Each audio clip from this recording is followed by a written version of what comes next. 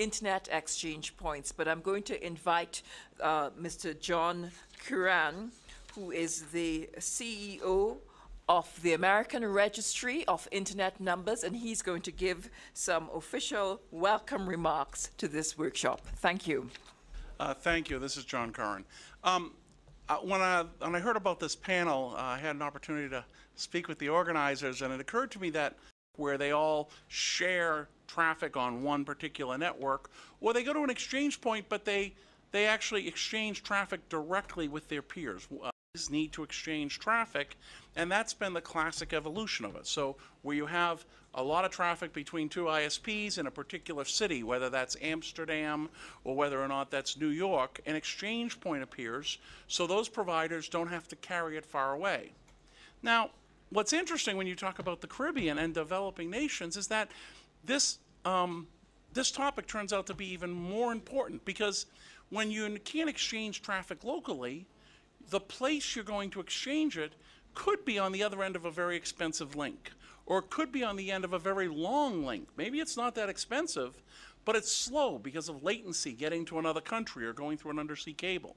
So the fact of the matter is that the ability to have a high performance internet in any part of the globe, in any region, is predicated on having an exchange point. Now, most exchange points historically have evolved over the largest providers realizing we have too much traffic in a city. We have too much traffic in London. We need to build another exchange point to make sure we don't have to carry it all to Amsterdam. They may not get to developing regions of the globe and say we have too much traffic here. In fact, the reality is they don't have too much traffic. There's not enough traffic in a lot of cases that they have to have an exchange point. But that doesn't that doesn't recognize the importance of an exchange point locally in terms of performance and in terms of, of having reliable connectivity. So this is a huge issue. The fact of the matter is that you cannot let it be driven entirely by the carriers where they want exchange points. If you want reliable service, you need to think about the fact that this is a key part of internet infrastructure it's not that difficult to operate, and it's one that developing nations can do on their own and actually attract improved infrastructure to their area. I'm pleased that there's a panel at the Internet Governance Forum to talk about this. I think it's a great panel. I hope I've helped explain why this is important to you folks, and I wish you the best on the discussion. Thank you. Great. Thank you very much, John. And at this time, I'd also like to just welcome our online participants. We're really pleased to have the opportunity to engage remote uh, participants in this very important topic. And John would have given a bit of an oversight into why we regard internet exchange points as critical internet infrastructure for emerging economies and those that are seeking to migrate to uh, knowledge societies, and we regard internet exchange points as catalysts for the development of local content industries and internet-based economic activity. So this, in this session, we propose to explore the key issues surrounding internet exchange point proliferation in developing countries. And we have quite a, an impressive uh, panel of practitioners uh, who have been engaged in different aspects of the internet, the internet economy, the establishment of internet exchange points, traffic routing, regulatory uh, and uh, policy implications for emerging co countries which are seeking to really capitalize on the benefits that can accrue from having an indigenous, a local internet exchange point. And our speakers today are Taylor Reynolds. He's a senior economist uh, for the information economy, the Directorate of Science, Technology and Industry of the OECD. Um, he's a global traffic routing expert. Then we have um, Bevil Wooding from Packet Clearinghouse. He's an internet strategist, very actively engaged in IXP promotion and proliferation in the Caribbean. Uh, Packet Clearinghouse is a partner with the CTU in the establishment of internet exchange points uh, in the Caribbean. And finally, Michuki Mwangi, he's the Senior Development Manager for Africa and the Middle East of the Internet Society, and he is also very intimately associated with the establishment of internet, internet exchange points in, the developing, in developing countries. And this morning, we propose to discuss the international traffic routing practices, domestic uh, routing practices for internet traffic, uh, the role of an internet exchange points, how you engage stakeholders, and how you mobilize them to get the buy-in to foster cooperation amongst competitors, pretty much competitors in the same market space, uh, to work on the establishment of an internet exchange point for mutual benefit. But I think um, just given our experience within the Caribbean, we put forward the, the notion of having internet exchange points or internet exchange point proliferation in the Caribbean as an issue of national development. And um, with that, if that is the underlying principle, we are seeking to foster national development. It takes on a whole different uh, perspective. And we'll be exploring some of these things this morning in this, in this panel. So without, I don't want to take up too much of our uh, panelists' time. So I'm going to invite Taylor to start the discussion this morning, and he is going to be talking about um, the economics of an internet exchange point. Yeah. Taylor. Thank you. Yeah, Okay. let me just- oops. Thank you very much for the, uh, the chance to participate with you. Uh, I want to start out by saying that I'm an economist and I'm trained as an economist. And so what I talk about today is from an economist perspective. And I think we need to have economists on board along with the technologists to understand how these things work together. If you, if you really want to get an economist excited, there's one word that sums it all up. And if you could uh, advance. right- oh, it's, right here. Oh, it's here. Oh, fantastic. the one word, let's see, markets. So economists love markets because everything is dictated by markets in economics, almost everything. And markets are places where people come together and they exchange things. They exchange uh, goods and services, and they either do it for money or they barter. Uh, but these markets are, are central to the functioning of society. So uh, internet exchange points are fascinating to economists because they are essentially markets. They're markets for the transfer of data. So, uh, so when we talk about uh, internet exchange points, we do it in terms of markets. Now, one of the things that I've seen here, um, I, I've been in Kenya now for I think four or five days, and we did do a trip out to the Masai Mara. And one of the things I saw was a lot of people walking very long distances to work or to sell their goods. So this is some women walking actually to, uh, to sell their goods at a market.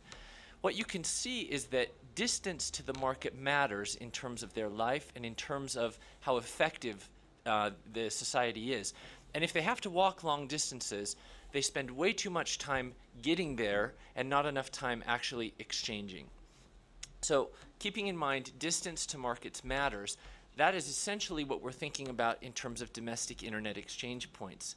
If we have internet exchange points that are too far away, the distances are too long for the market to be very efficient. So, uh, here's some data. It's, it's a chart that shows the number of countries that do have an IXP and the number of countries that do not have an IXP. And you can see the dark blue is the area that still has not been lit up, so to speak. And it, it's a majority of countries do not, uh, according to our, our latest data. So there's, there's a lot of work to be done in order to have traffic exchanged locally. Now, I want to talk about what are some of the issues in a country that does not have an IXP. Well, first of all, uh, it, uh, internet access is expensive. So, um, and again, there's a lot of technical people in the room. This is more of a, an example for the non-technical people. Um, when you do not have an internet exchange, you end up having to send your data traffic outside of the country. You transfer it to another provider, and it comes back in. So uh, they call this tromboning because it looks like the shape of the uh, the horn, the the trombone. And uh, what I've shown up here is is uh, someone who's exchanging traffic. They're from Mali. and they might be on one ISP and they send an email to a friend who is a subscriber on a second ISP. But what happens is because ISP A and ISP C do not share traffic locally, that email has to actually travel up to France where it's exchanged at an IXP there and then come back down. The problem with this is, is you have to pay expensive international transit for that whole route. So you're paying it twice, once to get to France and once to come back from France. And those costs have to be eaten somewhere and they're passed on to the consumer. So it, if you do not have a place to, to exchange traffic locally, your internet access is going to be more expensive. The second problem you have is, is uh, latency, and this is, for those who are non-technical, latency is, is that lag you get when you talk on the phone with someone who's very far away, uh, or when you try and upload something or download something on the internet and it takes longer than usual. It's, it's a lag. And one of the problems with very long distances is you will get slower response times uh, because of the distance. And also, because you're traveling over several different hops to get up out of your country, for example, from Mali to France and then back down, there's increased potential for international congestion. So you really are having a slower reaction on the internet because you're not exchanging traffic locally. So one of the things that I found fascinating about IXPs is they really focus on cooperation as a model. It, this is an area where competitors should get together and find a way to reduce costs for everyone because that benefits everyone in the society. So local operators can significantly reduce their transit costs internationally if they come to an IXP locally and exchange traffic.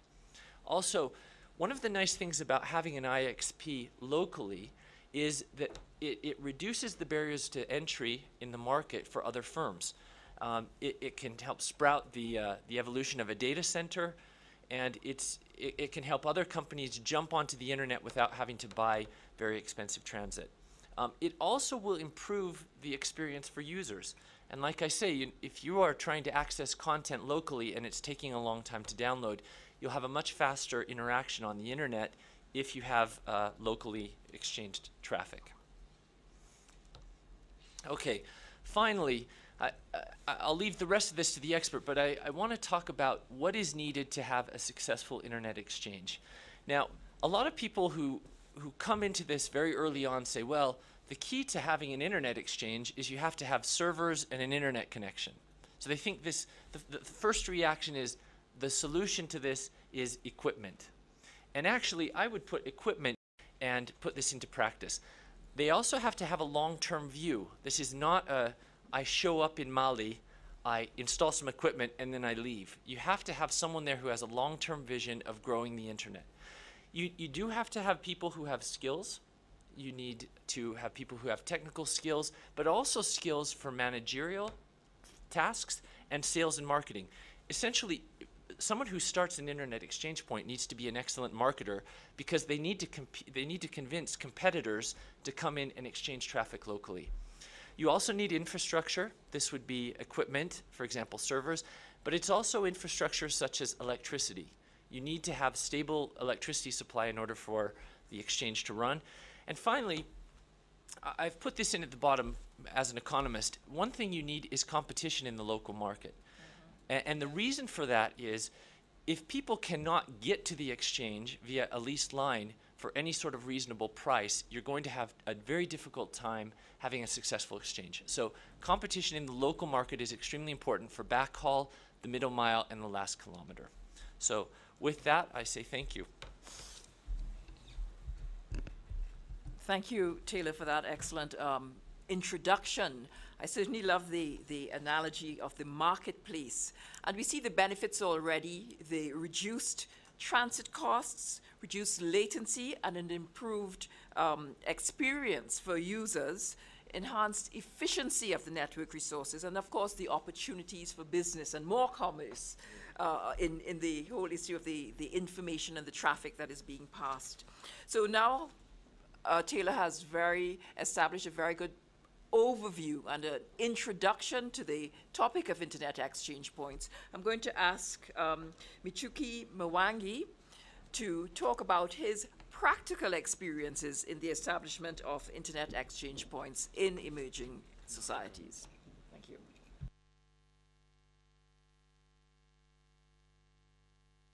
That um, they're going to just be exchanging here while he's setting up.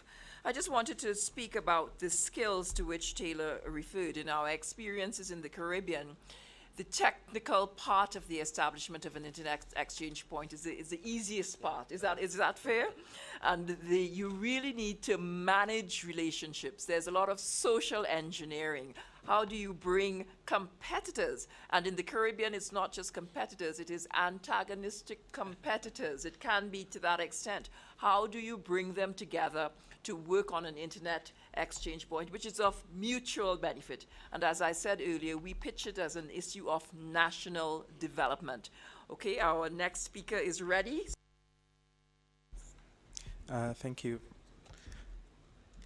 Um, so, uh, I think I'd like to pick up from where um, Madam Chair left it. Um, the, the challenge of setting up internet exchange points basically starts from the fact that uh, from the experience we've had in most developing countries is that the technical bit takes the least time and the least effort and the social side takes the most. So we, we have a saying that uh, setting up an exchange point, especially here in Africa, is 80% social engineering and 20% technical engineering. So, and uh, because of that, the, the, question is how do you go about uh, getting the exchange point set up? One of the things we've uh, tried to, to work on is getting the people to sit and, and talk. The competitive nature of um, internet access here in Africa. One, the challenges from the regulatory environment, and then secondly, from the competitive nature in that it's a small market, it's a small niche, and you're trying to get this number of people onto the net and get your return on investment as a business. Uh, vis-a-vis -vis the cost of actually running that business as an ISP means that uh, it's a really, really small market to start with and has been for a long time. It's only changing in the recent past. And for that reason, it's created an environment where there's a lot of mistrust uh, within the community and uh, within the ISPs. So I remember at a time when uh, I used to work in Kenya and used to work for an ISP, and it was almost criminal for me to be seen talking to another engineer from another ISP, and I would actually risk losing my job if if that got back to the management. That's how tense it was. And today I have drinks with them, and it's fine. It has evolved, but if you have that kind of environment where you know even engineers are not allowed to talk to one another and how do you then get the senior management to actually sit down and agree to connect at an IXP so as a result of that you will see that the different environments across Africa will actually um, result in different models coming up being set up of exchange points. Now what's happening in Africa? Well uh, there are 24 uh, internet exchange points in Africa. I think I should say 25 now. And um, because we have one recent one, um, but I'll talk about that in a moment. And uh, of these 24 internet exchange points, uh, we have tried to classify the levels in which they're, they're at. And um, we found that across Africa, we have places where they don't have internet exchange points. Some places they will not have internet exchange points in the near future because um, of the policy uh, regime that exists where there is either a monopoly or an incumbent telco that is dominant and there is no competition. So it, you need at least three providers in a country to interconnect for there to be an, an internet exchange point. And then we found that uh, there's what we call the level one internet exchange points, which is basically boxes and wires and lights uh, showing up. And uh, we've seen a lot of interesting uh, cases where nobody even knows where the padlock is to, to lock the exchange point, and uh, nobody knows what has happened. The exchange point has gone off and uh, and basically it's a volunteer basis of who is closest to the exchange point and who has the time to actually go and and and, and you know make sure that everything is working and uh, and others who actually claim to have an exchange point and when you go it's set up there is a switch uh, probably one or two routers, but no packets are being exchanged. So they're just boxes and wires. And then we have level two, which is basically core functionality. And this is where you find that there is an exchange point, which is actually exchanging traffic.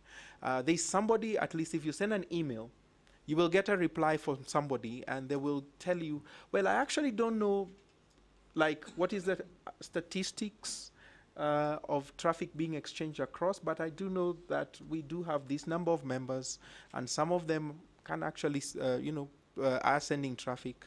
I can tell you what my company exchanging is, but the traffic we're exchanging at the exchange point, but I don't have an aggregate.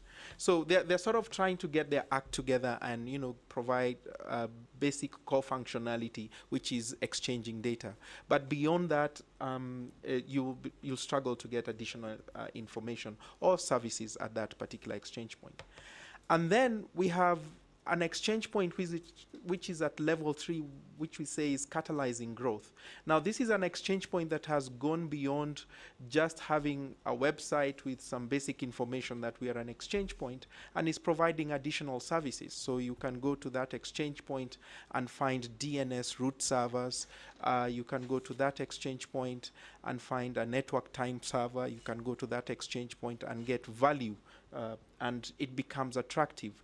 And the members participating at that particular exchange point are not just uh, ISPs, you'll find a, a, diversity in the participation. You'll find uh, academic networks, you'll find uh, governments connecting. And then you will see that at that point, it starts becoming more critical to the community. And that's where we are looking at the level four uh, IXPs, these are the ones that have managed to get to a point that everybody is significantly dependent on the uh, continued operational stability of that facility. Uh, the governments uh, get interested at that stage because they say if the exchange point goes down, we get affected. We've seen uh, that being a case raised within um, uh, the London Internet Exchange Point, for instance. But even more interestingly, it's here in Kenya, the government actually came to us and said, we, this facility is really critical to the day-to-day operations of some of our agencies. And so it is paramount that you provide the requisite redundancy uh, measures that you can put in place to ensure that it continues to operate 24-7 so that at that point we can say an exchange point has actually is thriving and has reached what is we can refer to as a, a critical infrastructure.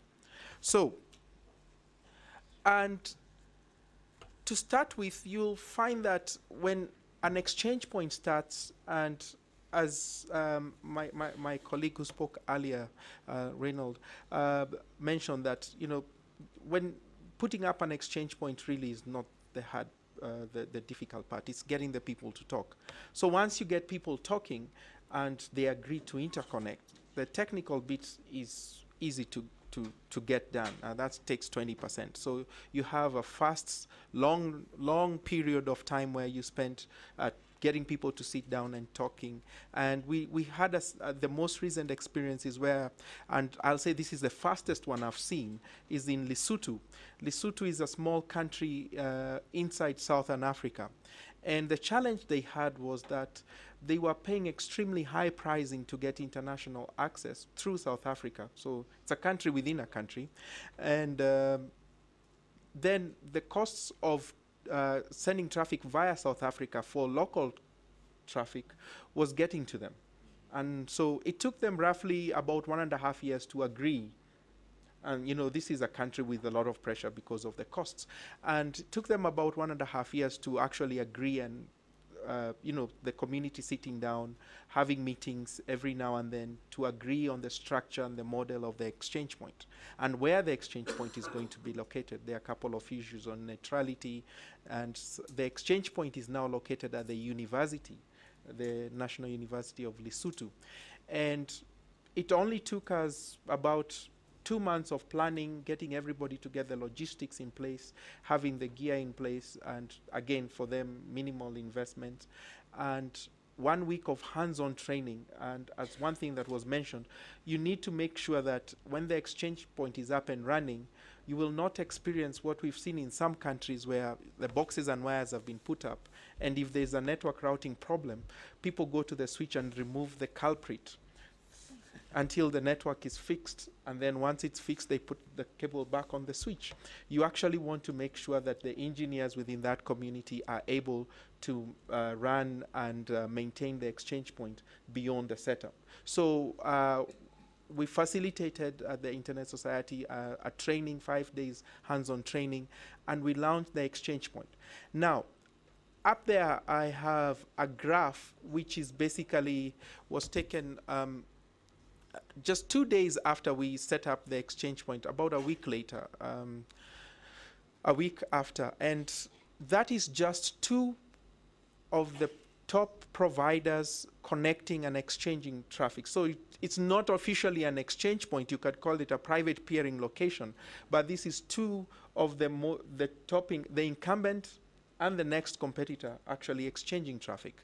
And you can see that immediately they almost had with peaks of almost half a meg of traffic being exchanged. This is a small country. The population is less than 3 million people, right? And that's the starting point.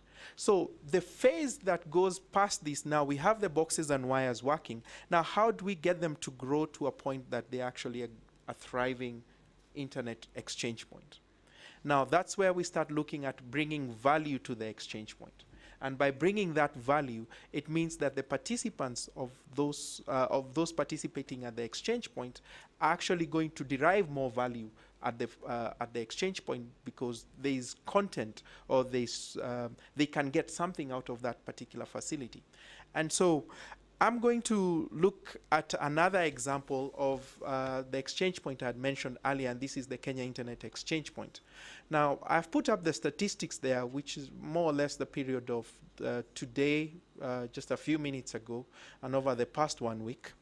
And you will see that the traffic is, uh, you know, compared to what we've just seen about Lesotho, this is one gigabit uh, uh, of traffic being exchanged as at now. Uh, so that's just here in Kenya. And the question is, how did we manage to get there? And the answer to this is that the community here has to be consciously involved in understanding what it what the exchange point is and how to bring more value to that particular exchange point.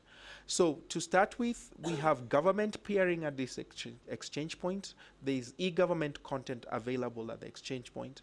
We have content providers. Uh, that means non-ISPs. Not only ISPs connect to the exchange point, but we ha we have people who can actually uh, bring content.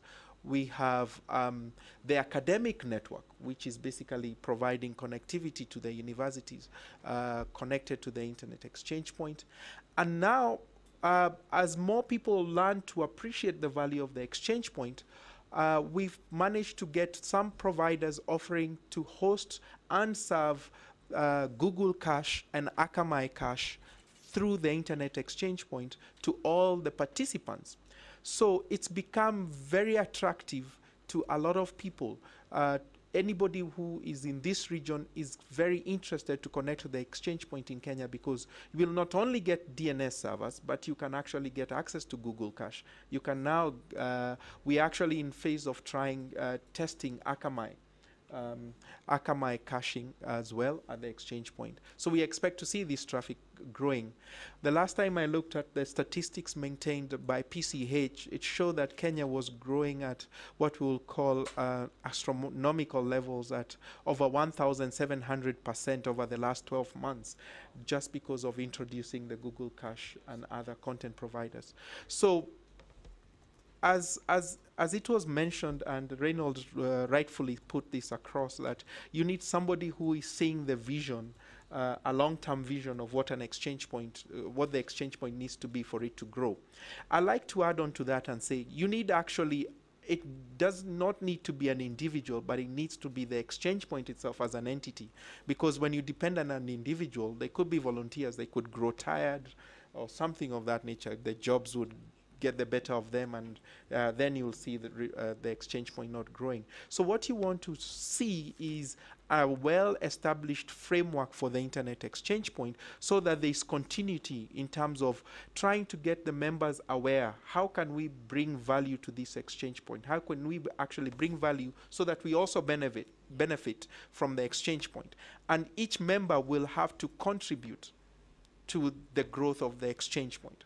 Now um, just to to conclude um, one of the things that we've started observing, and this is based on some work we've been doing in Mozambique, is that by just going to speak to the members uh, within an exchange point, it's very easy to trigger their thinking of how to get value out of an exchange point.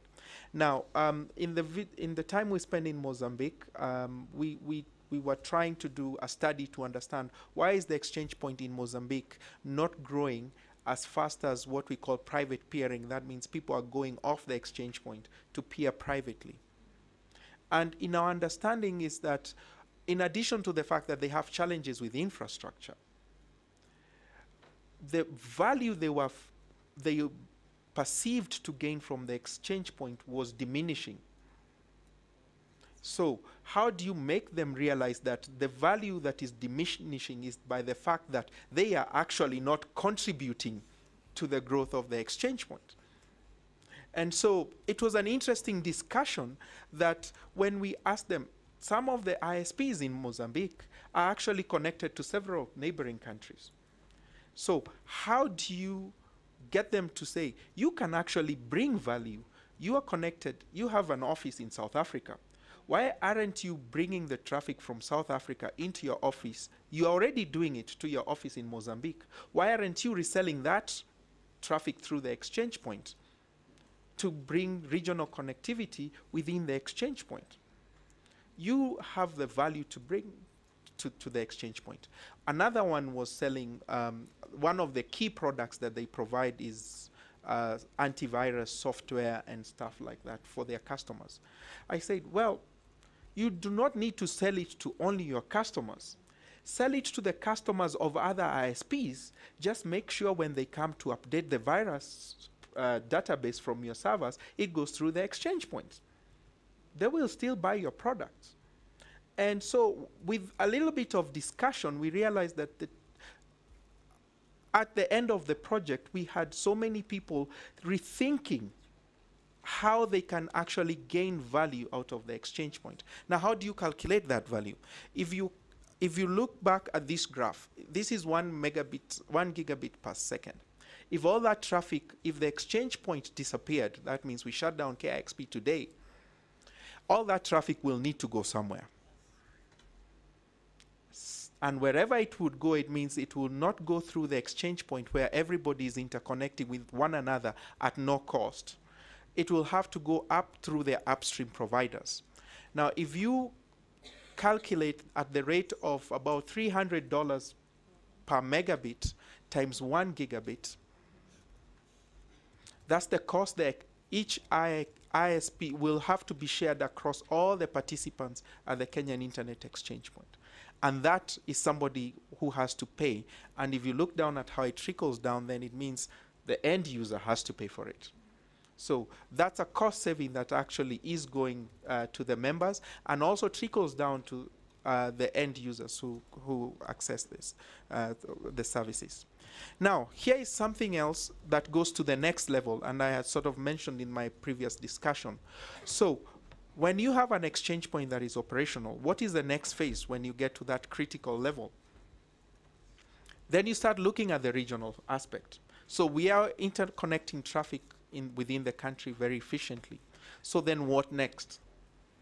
The next phase is let's interconnect across the region because in Africa, and this was happening until when was this? 28th September uh, on the right hand side, 28th September at 1600 hours, just before 4 p.m. Um, from Tanzania to Nairobi, it was 400 milliseconds. You can see the, the uh, between uh, it was between 200 and 400 milliseconds. That's a trace route from Tanzania to Nairobi. Tanzania is right next door. And we have multiple ways of getting to Tanzania, especially through the submarine cables. Seacom is there, EASSy is there. But we actually have to go to London to connect to Tanzania and back. Now, this is a trace route from one of the providers, Simbanet, who's realized that there is value in them getting connected directly to Nairobi. And so they're a service provider in Tanzania connected into the exchange point in Tanzania, and they have a sister company connected the to the exchange point in Nairobi. And now what they've started doing is making sure that their routes are visible at both exchange points. So when they trace route from Tanzania, they don't have to go to London but come to Nairobi directly. So they're actually saving their international capacity for regional traffic. Now, what we'll start doing in the future is start measuring what percentage of that traffic is going across the region. Now, once we are able to do that, we are going to the next level of not just saving international costs uh, for the local level, but also at the regional level. So these are still challenges we need to address, uh, but there is progress.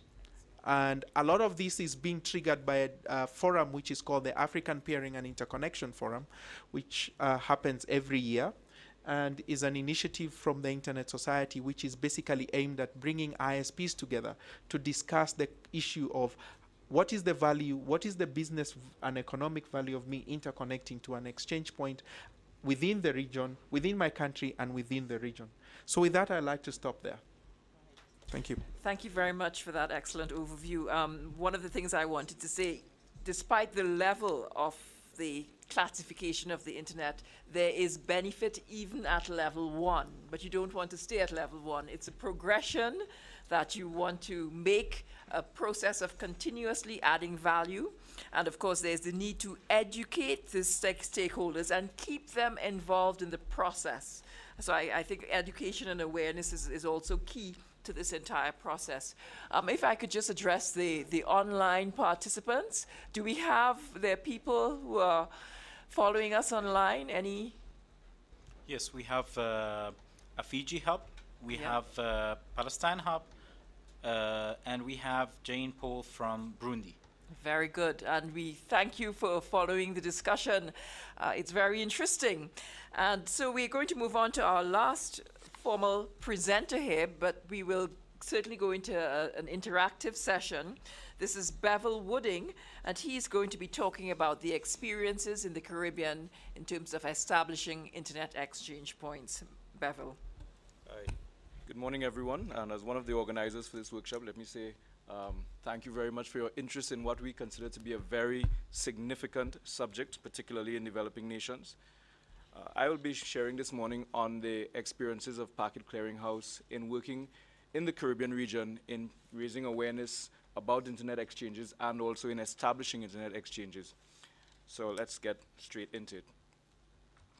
Uh, one of the things that we have uh, seen over, particularly over the past uh, two to three years, is an increasing awareness of the, the requirement to do something different about how infrastructure and I, the approach of nations toward ICT-based development is taking place. And so we are hearing comments, and I'm paraphrasing it here, that essentially go along the lines of there is a growing need to leverage technology to educate communities, develop economies, secure citizenry, and advance societies. Now, this has largely been, uh, up until very recently, cliched speeches that you would have heard in any ICT um, type forum or environment. And when we started asking the question, to what end and by what means, uh, there started to be a new interest in what exactly is the approach that we need to take toward this knowledge-based economy and building these knowledge-based societies. And so, as people realize the, the movement toward more e everything, e-applications, e-government, e-health, e-learning, and so on, um, they started to realize that we're facing a fundamental problem within the region. And that is, even though we're putting applications and services and information online, we're not getting the kind of performance or value that we would expect or that we would hope when we look at models, particularly in the developed world. And so there was a recognition that uh, there is something that has to be done about how internet services are delivered. Something has to be um, in place to make it more reliable. At the same time as countries moved um, both countries and communities moved toward putting more of these applications um, online and with an internet face, we started to realize there is a greater exposure to cyber threats. And the Caribbean region, because of the resource constraints and the vulnerability of the, the networks, um, is actually a target for significant cyber attack. And that has played a, a, a critical role in creating an interest and an appetite for some mechanism to improve how um, domestic traffic data and information is protected and secured online. So there is this emerging Caribbean epiphany. Greater focus has to be placed on education and awareness. Um, there is a need for new levels of collaboration, particularly between agencies and between countries. But at the same time, there has to be a move toward building capacity, indigenous capacity, improving the, the policy and legislative frameworks that govern and determine how these e-based applications and services could be rolled out. And then finally, and most significantly for this discussion, a recognition that there is urgent need to improve and strengthen physical infrastructure in the Caribbean region. And so that has led to um, Packet Clearing House working with organizations within the region, most notably the Caribbean Telecommunications Union, ARIN, ISOC, LACNIC, to provide um, what this model shows here, a series of outreaches and initiatives to address these, these issues, education and awareness, collaboration and capacity building, um, working with regulators to, to develop um, appropriate frameworks, and of course, infrastructure strengthening, dealing with the issue of the traffic exchange situation in the region, which is exactly as has been discussed um, by both Reynal and Michuki. Uh, a lot of countries in the region do not have domestic um, traffic exchange arrangements, and they're realizing that as more services go online, the cost, the outbound cost of introducing uh, internet-based applications is also growing. And these are economies that can't afford um, this kind of economic hemorrhage. Um, and essentially what, what, what has been termed as uh, subsidizing development in developed countries from a developing region. So this is the approach that we have taken. Uh, and it, it looks at and recognizes that there are several parallel tracks taking place. We know we're not working in an environment where um, the whole focus or issue is on internet exchange points. And the tracks are this. One, there is a, with the growth of the internet and with the growth of internet access and the increase in broadband services, there is a proliferation of indigenous content. It's still not at the level that many hope or wish, um, but there is a growing amount of Caribbean content. Most of this is hosted outside of the, the Caribbean region. We're also seeing the emergence of communities of interest and advocacy groups. Uh, CaribNOG, the Caribbean Network Operators Group, started just over a year ago and, and is now making approaches to um, bringing together the region's technical practitioners. And similar to, to the example that was given earlier, you had scenarios where operators or engineers in one ISP or one telecom operator would not be seen relating to in public operators or engineers in another ISP. And that has been changing um, ISOC chapters are being developed and there's move to, um, to introduce um, new online communities to exchange ideas and information.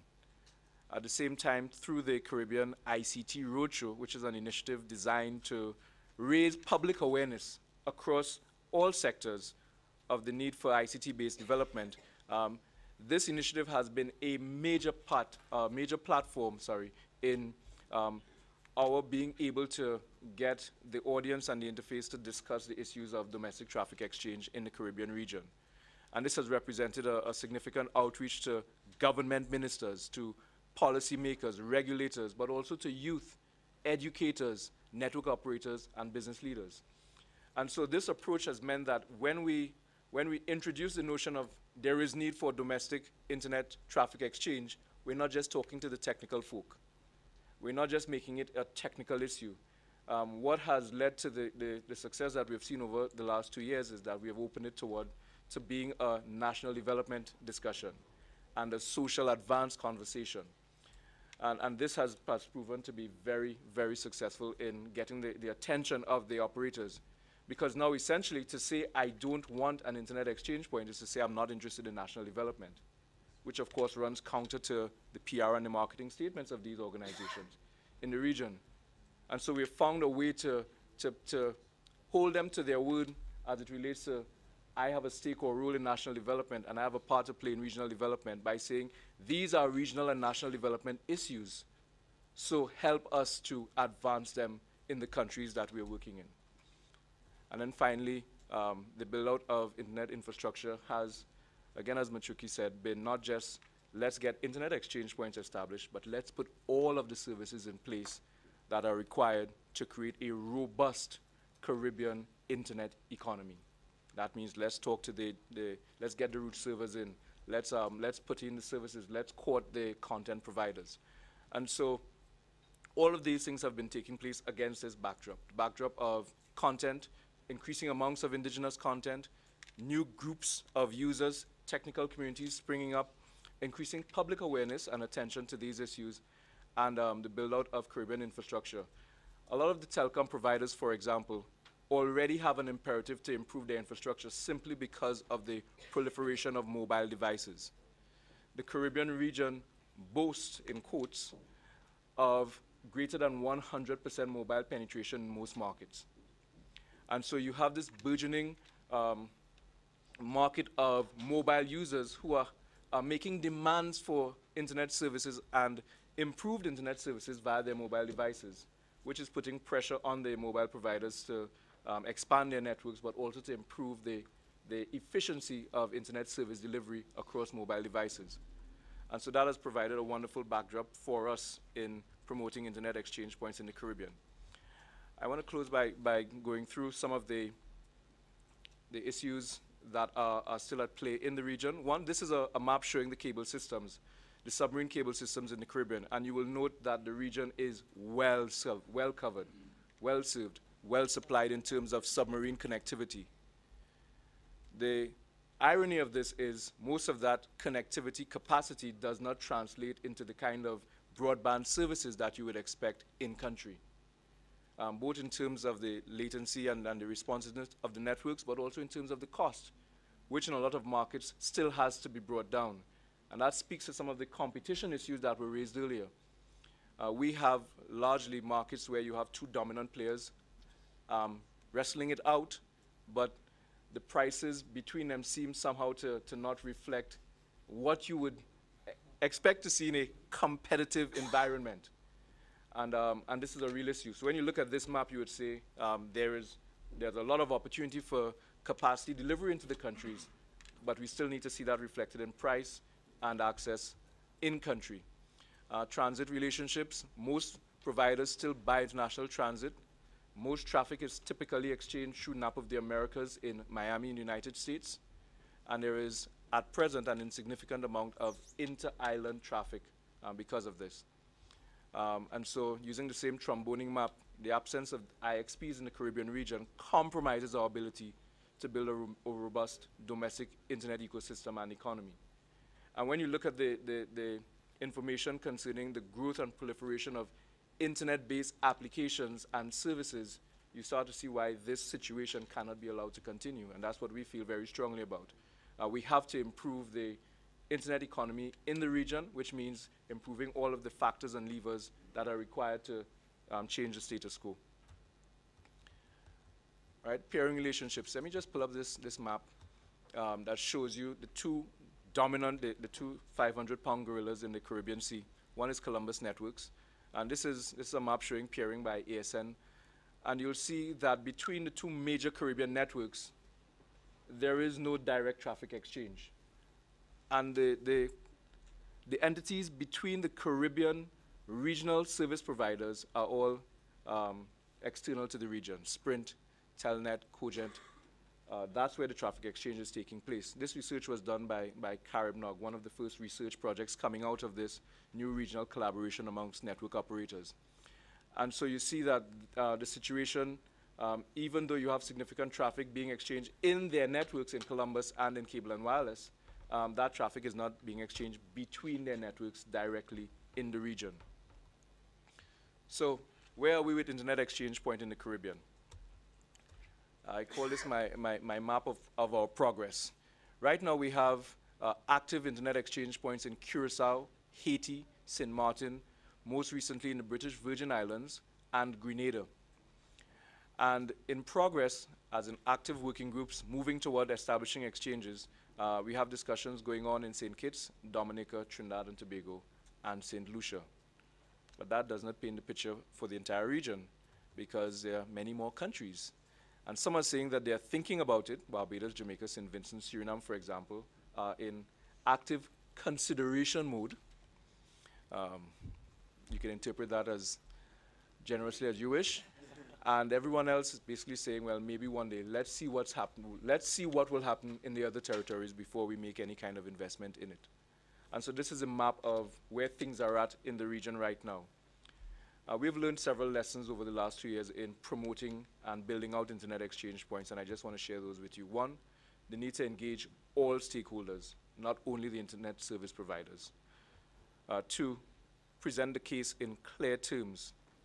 Um, we found it, for example, useful not only to say, here is the situation in Africa or Europe or North America, but we had to get information on exactly what was the nature of traffic exchange in the region without peering. What was it costing the, the, the territories? What was it costing the region?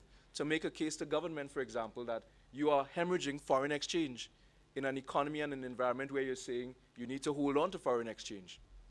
And so we had to get the facts, not just the generic technical justifications that you typically see in IXP presentations. And this all, of course, had to do with um, the, re the reality that we were dealing not just with ISPs or technical community, but that we were opening the debate to the non-technical community. And so we had to present the case in terms that they could relate to and understand.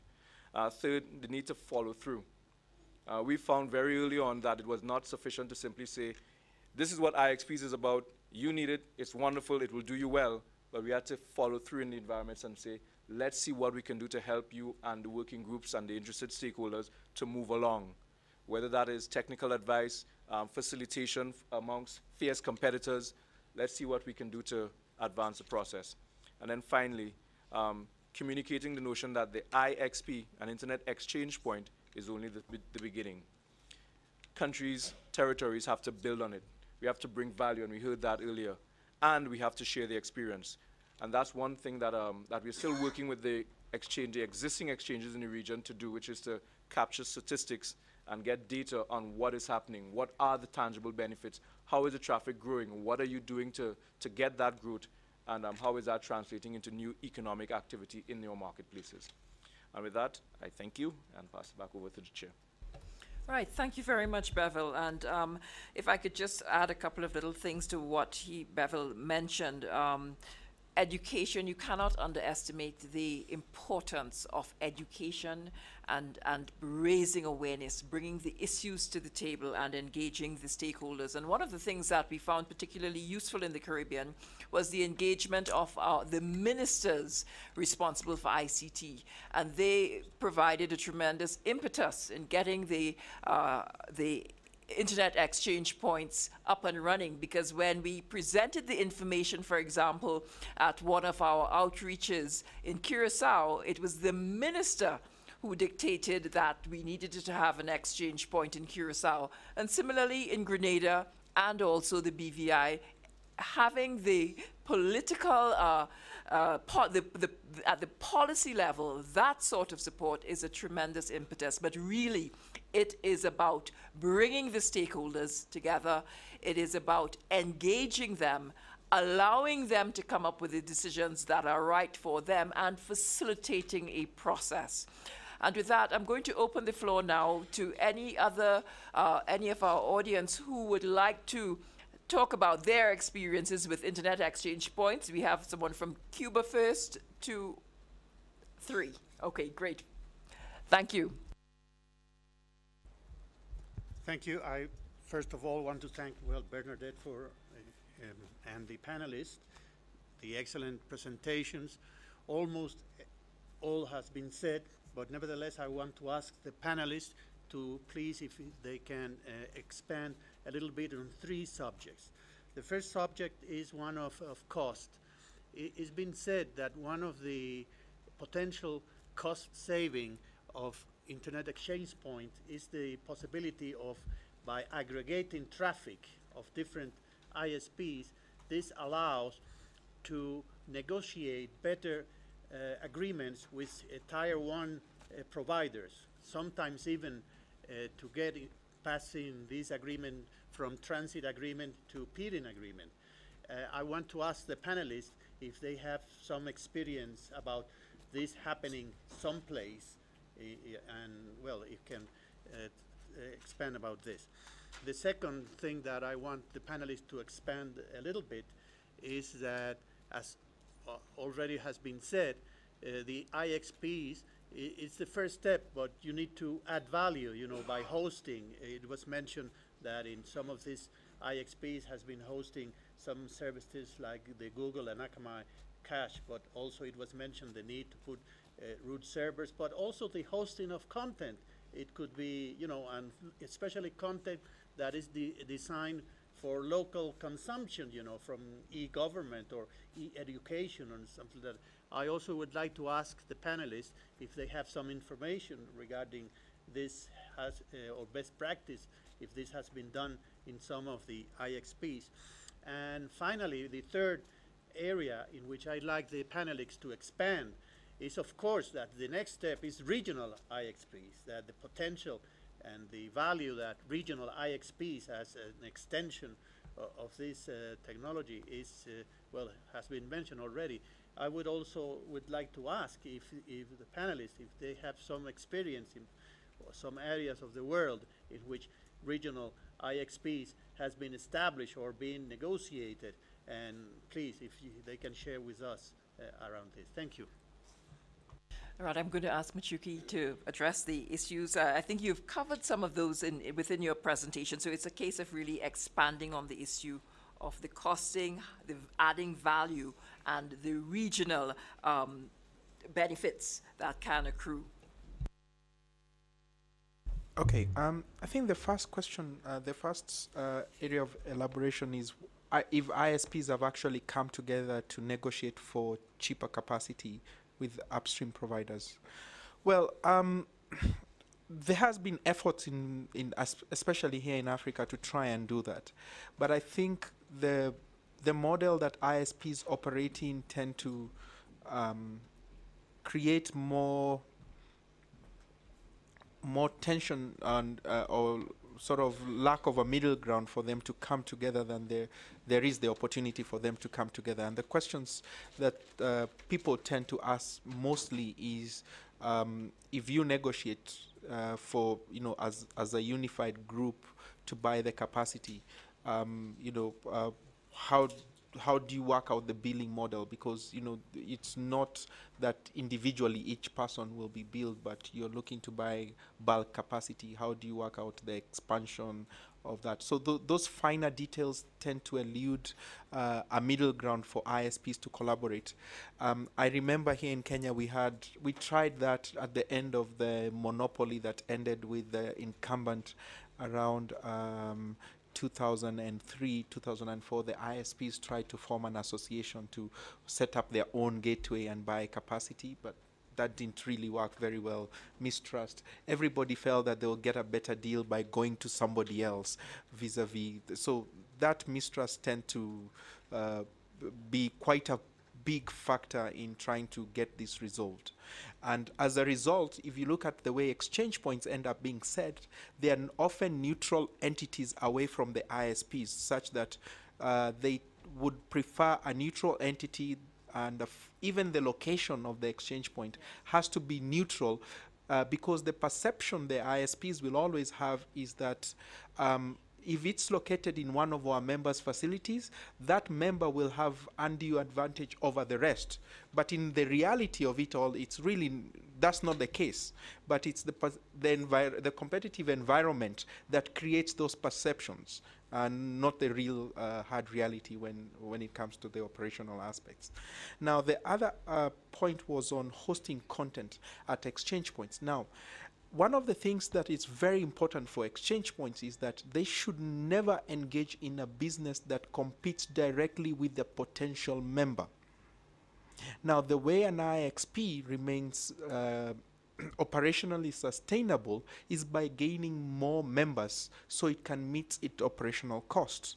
Now, if it starts going into the business of hosting, it means that they're killing the potential business of a potential member And that in itself will start alienating the exchange point from its membership. And so it will be moving away from being an exchange point into being a competing business. And so that is often not encouraged. However, you can host uh, content that brings value, and that's why we are talking about DNS root servers, network time servers, uh, maybe a Google Cache if you can find a model or such such. But you're bringing value, not providing business. Uh, uh, so there has to be a distinct and clear uh, uh, uh, uh, policy with respect to that. The last thing was on regional exchange points. Now, um, there's been a lot of ongoing discussion about what really is a regional exchange point. Now, uh, if you look at the way exchange points are built, what makes an exchange point attractive and successful is the membership and the value you get by participating at an exchange point. So if you go to an exchange point and there is no traffic, you're exchanging less than one megabit of traffic, there is no value. So if the exchange point is valuable, then it will attract more people. Now, um, if you look, I'll give an example. If you look at the London Internet Exchange Point, do you call that the UK or British Internet Exchange Point, or a regional exchange point, or a global Internet Exchange Point? It has actually evolved across all the three levels. It started as a national exchange point. It became a regional exchange point when other people from other countries uh, across the neighboring uh, uh, uh, countries came to peer there. And then people from other co- continents started coming to London. So we have operators from London, from Latin America, from uh, Asia, and Australia and the US peering at the London Internet Exchange Point. So it's gone through from being national to a global exchange point over the years. So it is difficult for you to find a location and go and say we are going to go and build a regional internet exchange point there because the, at the starting point and if you looked at the graphs i showed of lesotho the only two people peering only the value they bring there is what will be attractive to the people participate uh, to, for other people to come and join. But a, a, a, a national exchange point can evolve from being national to regional to global based on the value it brings to itself. It attracts as the years go by. So it is very difficult to wake up one day and say we are going to go and build a, a regional exchange point in this location. The factors have to be. It's like an airport hub. It's really difficult to work, wake up one day and say we're going to build this massive airport hub. There must be enough incentive and traffic attraction for that to happen. I, I think I've answered all the questions. Thank you. Th- that that was. Um, I really love the evolution, you know, of the the internet exchange point. Uh, we had a question. Could you identify yourself, please? Um, uh, my name is Troy Edelin. I'm with USAID. Yes. Um, we, I've been involved. We're, we're helping Afghanistan set up an IXP, um, and I just wanted to point out a, a few things which the the process, the experiences, has um, helped us understand. And um, uh, the IXP in Afghanistan is actually going to be set up in the same building, the same room, as the exchange between the mobile network operators. So, uh, for that fact. Um, uh, one thing that hasn't been pointed out yet is that it's not just about mobile internet, the advantages of an IXP, it's about all, all, all mobile services to the extent that mobile network operators can um, uh, route their traffic via the internet to uh, towers, right? So, um, and I was originally driven to it because of a, of a mobile internet system using IVR, right? So it wasn't actually mobile, mobile internet that we were concerned about, it was just um, uh, achieving efficiencies for regular mobile services, voice, SMS, MMS, uh, and so on. Um, the other thing I think that um, it'd be really nice to hear the panel respond to would be this question of um, of governance. Of I, mean, I think that uh, the colleague um, uh, Mwangi touched upon this briefly, but just I think that as IXPs begin to um, lower costs, increase speed, um, human behavior and businesses follow that, right? So, so then uh, it becomes poten- uh, potentially possible for, for example, an online uh, news service with video to become sustainable and to become popular, become, accessible, become influential, and politically speaking, right? So, once once that is say has been achieved, then the IXP services, its its functioning, become has a has a political dimension to it because, like in Egypt, for example, they might want to shut it off if if our IXP is functioning successfully. So, um, a, a, a technically e- economically successful IXP raises questions about well, how what kind of national asset is this? What what about sovereignty?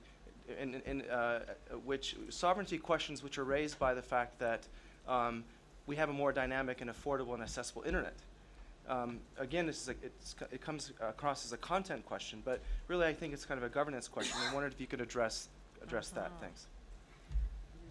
Yeah, I'll, I'll start off uh, because that actually is the flip side of the, the coin. When you say let's make IXPs a national development issue, the flip side of that coin is well, now it takes the attention of the national government in most cases and national community. And it places a different priority on who governs and who watches over and who controls this internet exchange point. Um, we have largely promoted the the open and neutral model for internet exchange points. Uh, what you're describing is a scenario that comes when the internet exchange point actually grows and starts to change things in the marketplace. And um, we haven't gotten to that stage yet in the Caribbean, but we are already seeing, even in the formation of the exchanges, um, governments and regulators taking a role in saying, this is a priority, now you, the service providers and the telecom industry, move toward it. In the last two exchanges that was, were established, there were two interesting but different models that were, were taken, or approaches that were taken. In the case of the British Virgin Islands, uh, the regulator had to issue an edict that said there will be no um, exportation of domestic bound traffic in the BVI, which was their way of, of saying to the service providers, I need you to engage in domestic peering. And they made it an, an offense under the Telecom Act to um, exchange any domestic bound traffic externally. Now, that wasn't an advisable approach. We did not want to see the hand of regulation coming into the establishment of exchanges, but they felt that in that environment there was no other choice. The providers were simply not prepared to come to the table and discuss traffic exchange. Uh, one actually told me directly that they had better things to do with their time. Um, so you have that as one scenario in the British Virgin Islands. In Grenada, the threat of regulation was sufficient to get them to the table. If you don't do this, and if you don't do it in this time frame, I will be forced to regulate. And um, that was sufficient. They got together, and, um, and Grenada's exchange point set was set up literally months after that command was issued, after being discussed for just about a year. So, so you have this, this situation where as it becomes increasingly important to um, not just government service delivery, but general service delivery, um, we, we anticipate that there will be a, a, new kind of scrutiny. And in anticipation of that, we actually have been talking to and working with the regulators in the region to uh, introduce, them, introduce to them the notion that um, regulation is not always about constraint. Regulation is about development. As, as obvious as that might seem, it is a novel thought for some. And um, and that's the conversation that we're having right now, knowing that as there is more traffic, as there is um, more services that now depend on this facility called the Internet Exchange Point, um, those who are responsible for regulation and governance must take a more mature look at their role and responsibility in making it stable and reliable. Sorry, right, thank you. Yes, there's one in the back, and then Akil, and then we'll take uh, any comments that we have online. Right, would you identify yourself, please?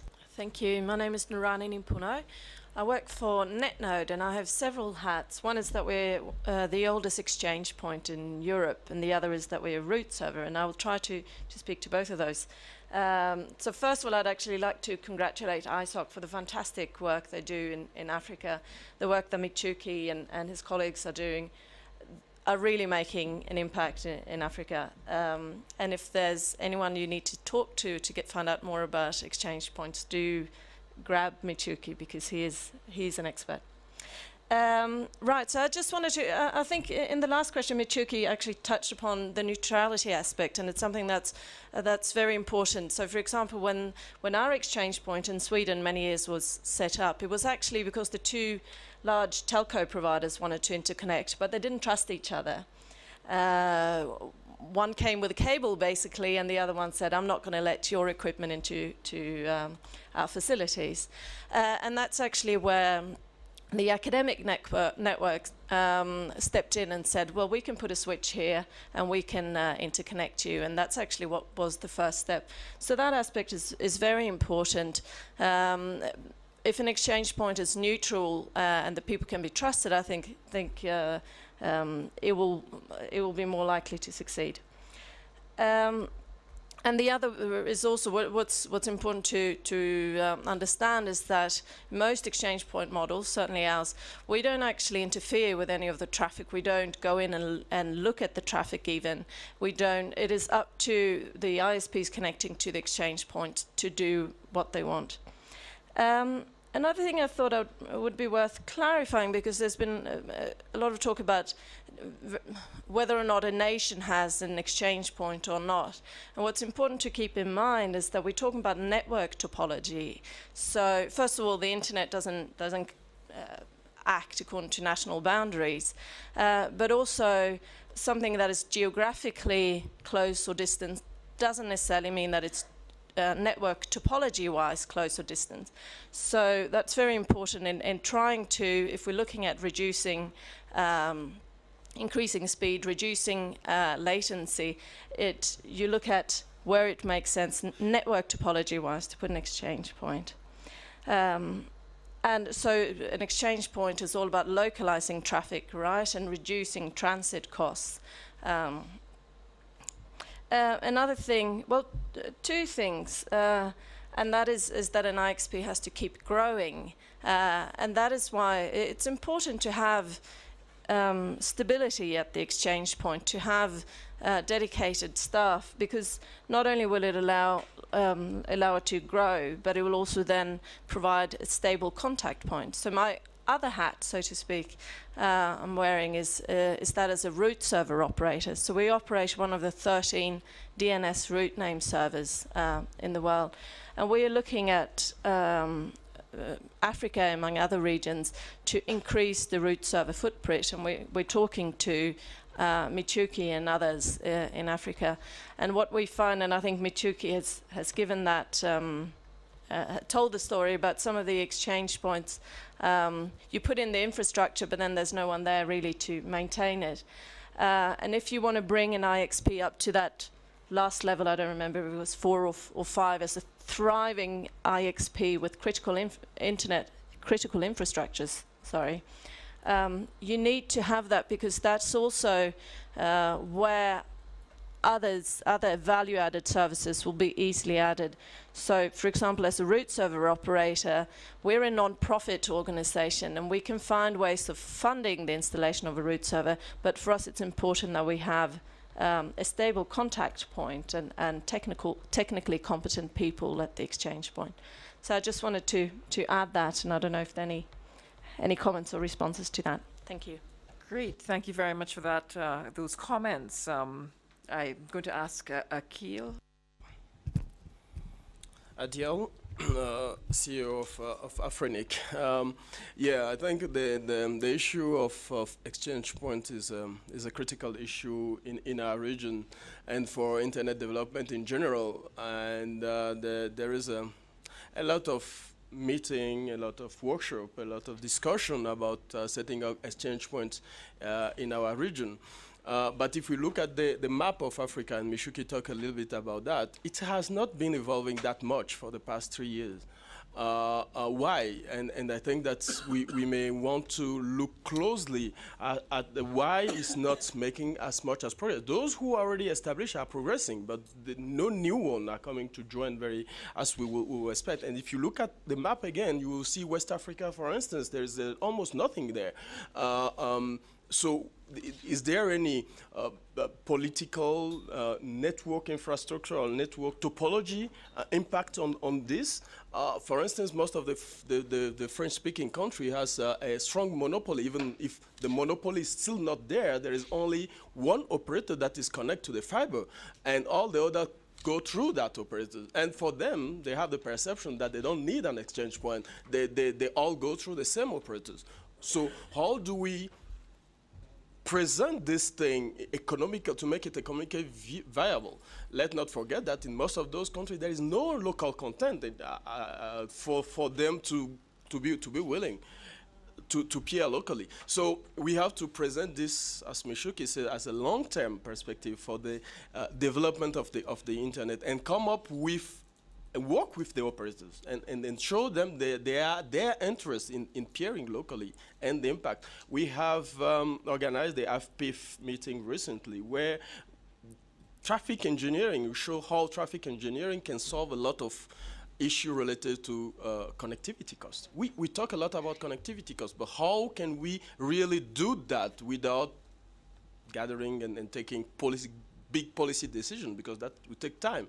Um, uh, those are very uh, specific points that uh, uh, we need to address uh, because there are many programs here to improve the, the the network in Africa. Uh, Nurani talked about the root server copy. We, we, it's a project that we have launched two, three years ago. Uh, we have installed only one root server through that pro program in Africa. Uh, and, and, why? Because uh, we want exchange points that are working, but few really match the criteria that, that we have. Uh, so yeah, we can complain all around the world and say, oh, we want root server in Africa, but do we have the infrastructure to do that. Topology-wise, do we uh, build the network as uh, uh, internet or we are extranet of the, the rest. We connect to the world, we don't interconnect locally. So we, we, we need to work more on that and the community is important. I think Kenya has made significant progress because the community was strong behind it. The engineer were socially tied together, they, they work together, they don't look at the policy aspect. Uh, they also benefit from the uh, satellite connection at that time where most of the operators use satellite. So there was a need to, to, to, to op optimize that. So we have to probably present the exchange point in a different way for those countries that are not taking it and looking at where exactly is the, is the, is the problem. Um, it may be somewhere where we are not looking at really. Yes, thank you very much, Adiel, for that, those excellent points. Uh, I, again, I cannot under, uh, overstate the need for education and public awareness and speaking to the constituents in language that they understand. Um, and as I mentioned before, in the, the Caribbean experience, engaging the politician at the political level to help in steering that sort of direction. I mean, you've spoken to the, to the issue of competition is the market liberalized? Those are the questions that you have to ask. And those sort of questions, you know, you need to, to raise it at the, at the political level. There must be a political will, or else we, those countries that have not benefited from having a, a, an internet exchange point or a level four internet exchange point um, will continue to, to be you know, uh, at a dis severely disadvantaged. Can I just go on online now and see get some comments and some experiences very quickly from our online participants. We have a question from Palestine. Mm -hmm. First, we would like to thank the panelists and organizers. And uh, they have a question. What is the best practice for managing and regulating the local exchange point? And they have another question. We need to know from your experience about the regional exchange. Is it better than having only a local exchange points. And also they have another question. We need to know the cost saving in percentage in traffic and cost. There, Michuki, do you want to take it the first one? Best practices for governance of an IXP? Okay, I think there were two questions in that. There was the managing and the regulating. So the managing model is is is a tricky one because um, you, I would prefer not to prescribe a, a, um, um, a management model uh, for the exchange point. The most important thing is for the stakeholders to come together and agree what model works for them. The default and most acceptable and most successful uh, model that works for internet exchange points is a non-profit. There are commercial IXPs, but non-profits tend to go well in terms of one, gaining the confidence and support of the operators, and two, also being accepted uh, by future members who come to join that you know it's a non-profit the interests are not commercial they are for the benefit of the community and the stakeholders that are involved so a non-profit model tends to win the uh, tends to be more acceptable and tends to thrive better in the experiences we've seen but that doesn't mean it's the only model. Uh, we, there's a study I tried to do some years back to see what's the uh, how the diversity of uh, exchange points in, in, in Africa, and I realized that uh, we, we actually do have quite a diverse number of um, models in terms of where we have those that are uh, run as non-profits, those are run by the university, and some actually were set up by the government. So the models will be there. The question is, what do the stakeholders uh, think uh, or will actually appreciate as a model that works for them. That's going to be the fundamental thing because the, those are the people who will be participating at the exchange point. Their interests need to be taken care of. So if they are not part of the model, then th- the exchange point will not serve in their interests. So that's the fundamental thing that needs to be considered in looking at the model. When it comes to the regulation side of it, now government does have a role to play. We cannot say that government does not have a role to play. And the experience we've seen with this uh, with especially here in Kenya is that initially the exchange point was just for ISPs, but when all governments go e-government and they need to connect to the exchange point, they start asking the question: So, are we buying services from you, or what exactly are we doing with you? And because it's an exchange point, it's voluntary. That means you actually come and peer. The model becomes tricky. So the model that you pick should allow for a broad-based type of engagement, not just for ISPs, but also governments can actually have a seat on the ISP board and participate just like every other member. So the model you pick should take those uh, future considerations on board. The, sec- the second part related to the evolution, uh, she's asking about regional IXPs, but I think that was explained. It's an evolution. You cannot decide that you will, you're starting off, you're going to have this thing. Um, so I think we'll just pass. Or you want to comment? I just wanted to emphasize that you cannot start at a regional.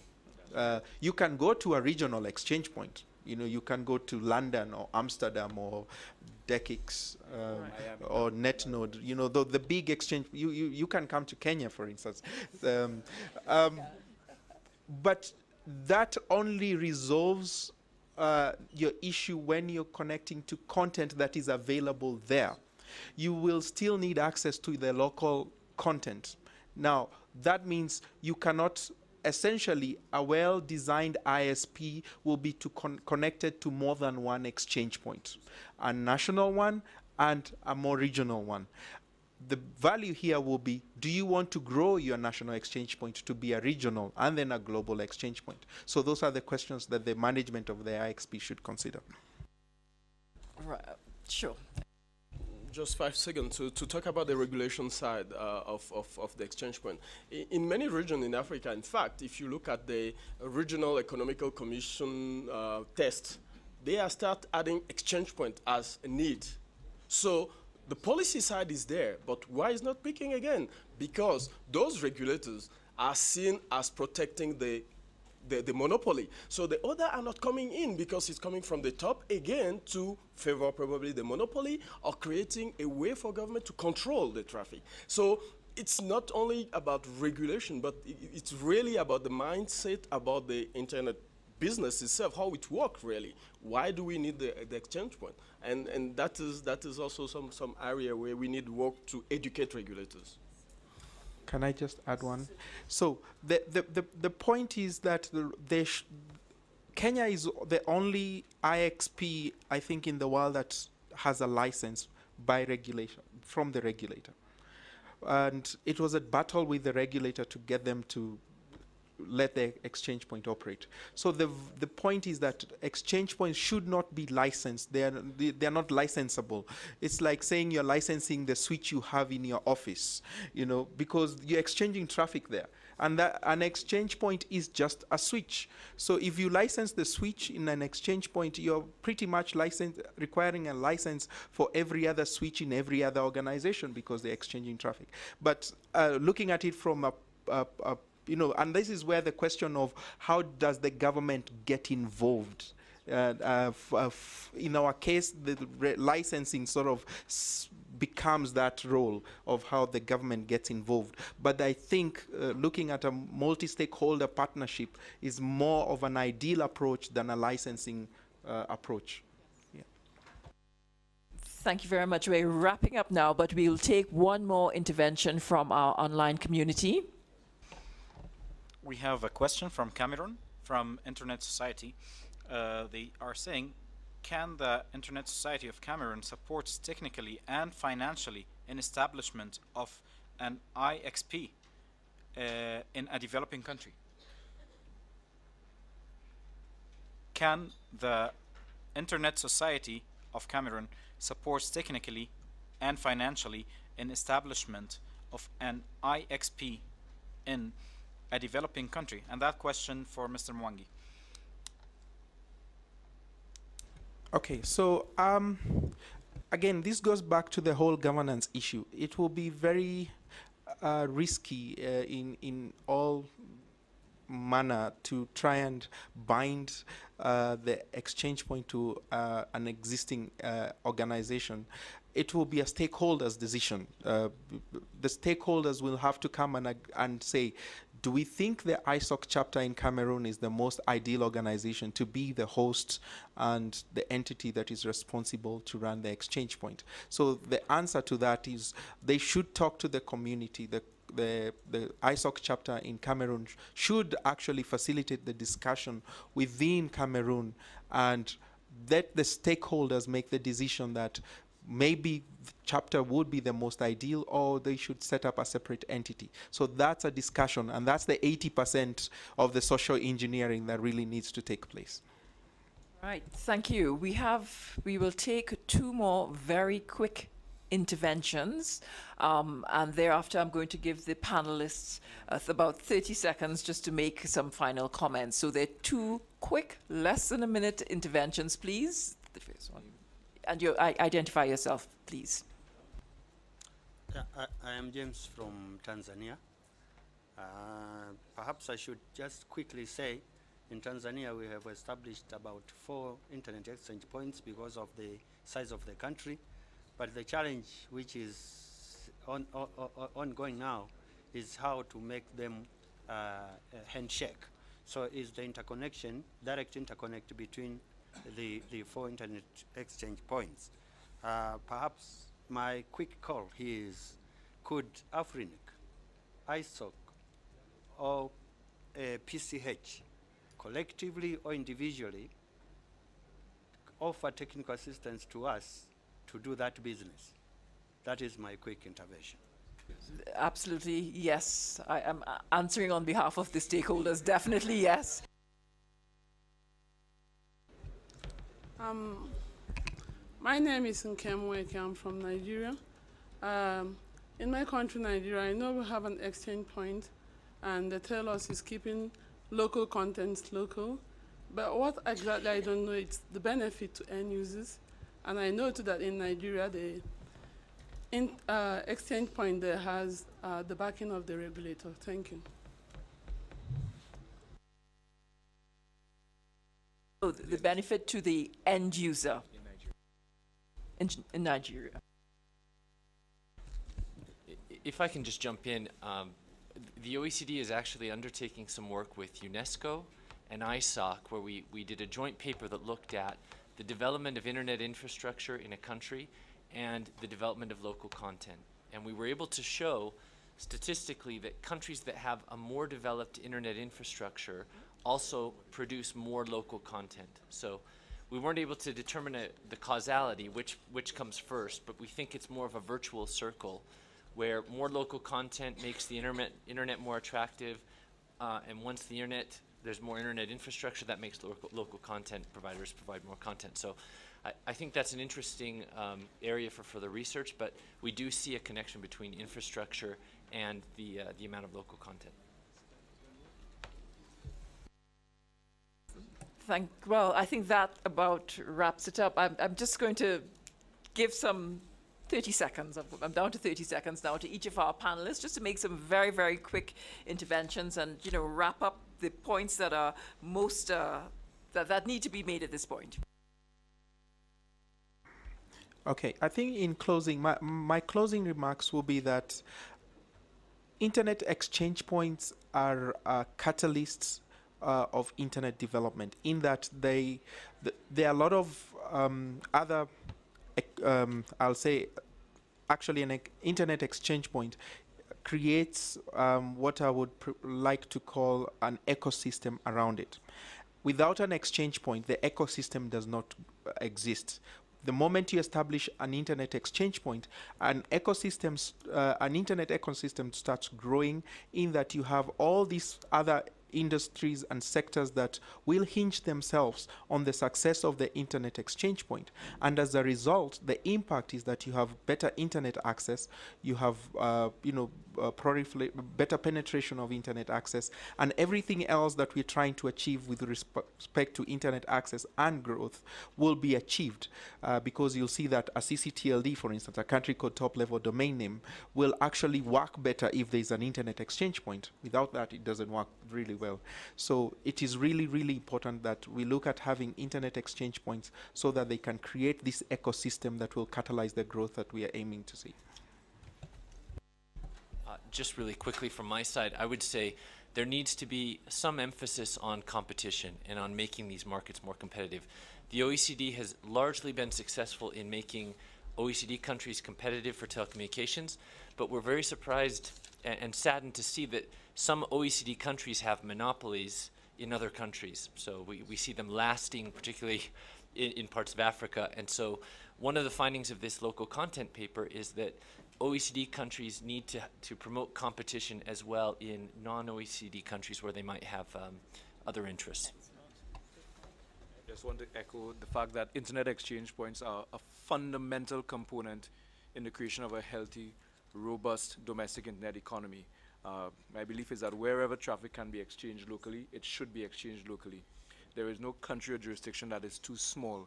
And we've seen that in the region. We have cases where now in small countries such as British Virgin Islands and Grenada, um, Google, Akamai are actually making approaches to locate their caches there. There are users who have just as much right as users anywhere else on the planet to access the same quality of internet service that they deserve.